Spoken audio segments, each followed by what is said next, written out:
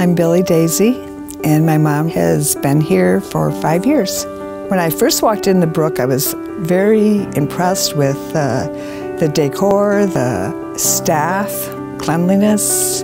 It was very well decorated, very welcoming. She's in her own apartment, and I feel like I'm in her home.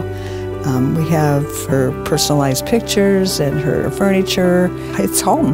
Find a Brook near you at brookretirement.com.